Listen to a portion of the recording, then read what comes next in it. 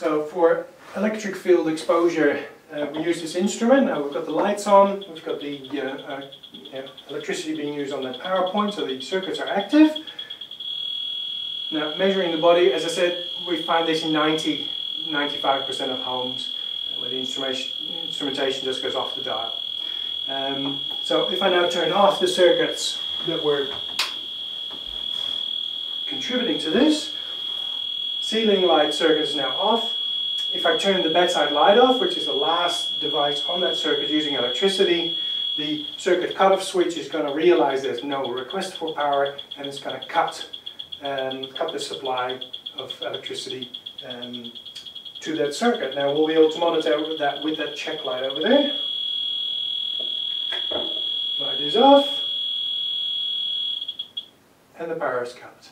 And as you can see in here, uh, the, the you know, level of electric field exposure has been reduced to uh, you know, uh, a minimal minimal level, which is uh, which is wonderful.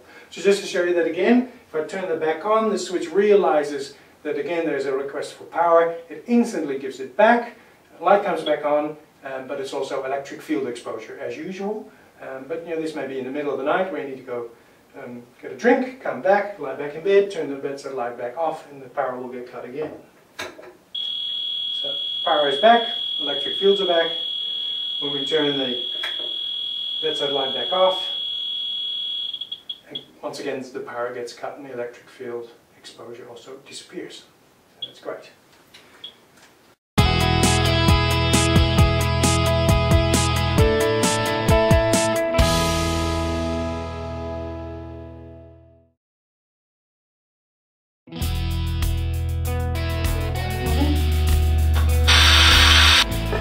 Is one of those rollers that put all the... Okay, let's have a little chat about uh, earthing.